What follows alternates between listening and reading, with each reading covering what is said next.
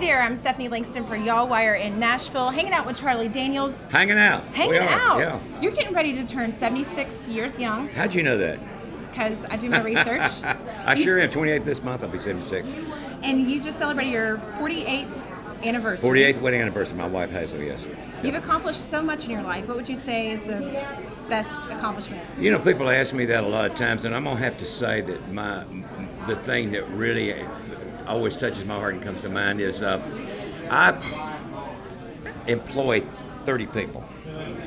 Have employed 25 to 30 people for the last 30 years. Uh, steadily and gainfully. We have 401k plan. We have health insurance. We have the greatest bunch of people in the world. Being a part of that family is, is as important to me as anything in my career.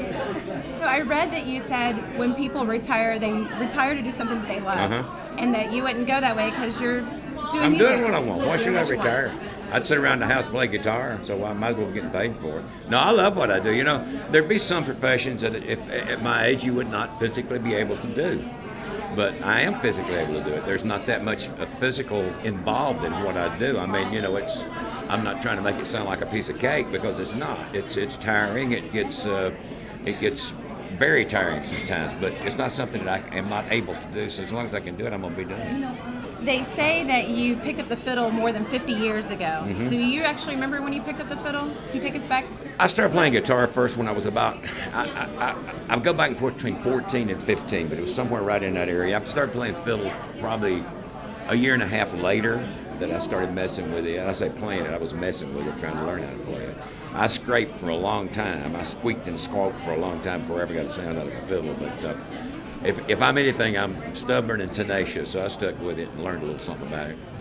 What do you think about this whole uh, social media stuff? I know you're doing Twitter. I, Well, you know, to me, uh, my son has dragged me kicking and screaming into every bit of technology I ever got involved in because I said, you know, he, Dad, you need to. No, I don't. Yeah, yeah, yeah. So I, you know, I come to find out, I took a couple years of typing in high school, so I'm able to handle a keyboard. so that's the only thing that saved me, actually. But uh, it's instant communication with people around the world. I mean, I get.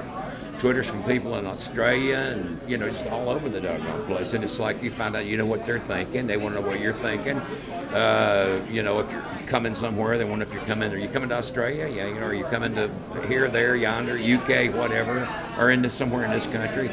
They can ask personal questions that they don't get a chance to. They don't get a chance to do what you're doing right now, and that's kind of a that's kind of a national interview, if you will, when you when you do Twitter.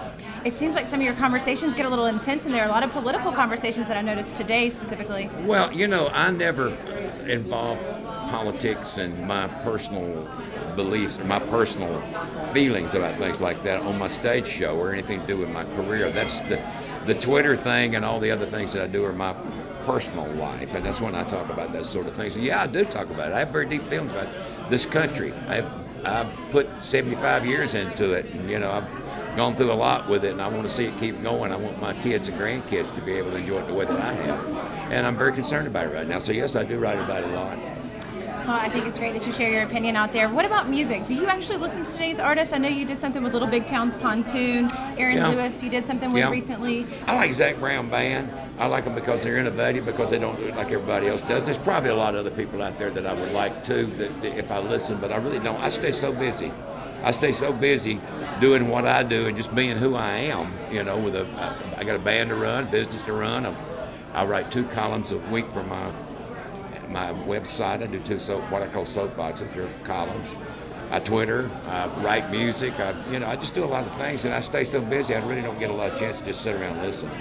And usually, if I want to listen to something, I'll listen to something, you know, on my, you know, listen to something uh, like a recording. Uh, um, well, they ain't records anymore, but you know, on my iPad. All right, but uh, it's, you know, I really don't either have or really don't take the time to really keep up with things like I used to. Well, and you still give back, and that's what you're doing tonight. Tell us about Scholarships for Heroes.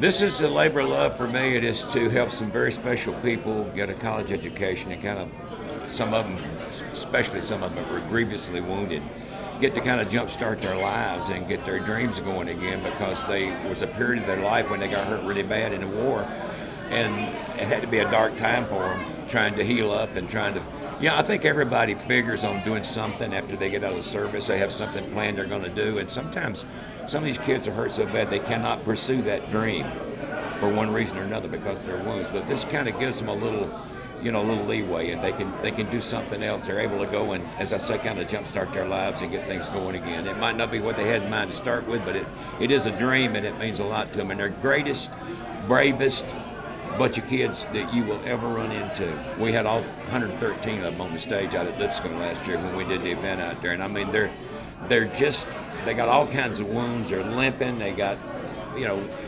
visible wounds, invisible wounds, and yet they're still going. They got a lot of people would not even get out of bed in the morning if they were that way. But these these these are the best. Our, our military folks, you, when you see somebody in uniform, you can say it's one of the greatest Americans around because they're the best we got, no doubt about it. Awesome. Well, it seems like every year you do another event here at the Palm that's always benefiting something, but there's always a string that kind of pulls them together. Can you just kind of set us up for the evening and what we're going to be seeing?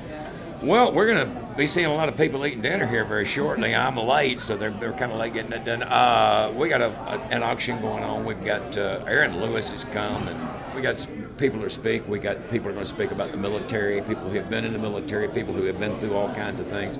Last year we had Marcus Luttrell, who was the in fact, they just made making a movie about his life, about being the lone survivor in Afghanistan. Everybody in his SEAL unit besides him got killed, and we, that kind of people. We got some people here tonight that are going to be relating some very, very interesting things. So Awesome. It'll be an enjoyable evening. Awesome. Well, thank you so much for taking time to be with us. My pleasure. Also, I want to mention November 15th, your album, Hallelujah. It's Christmas time. Hallelujah. It's Christmas time again. Yes. It's your favorite time of the year, huh? My favorite, yes. All right, Charlie yes. Daniels. Thank you, dear.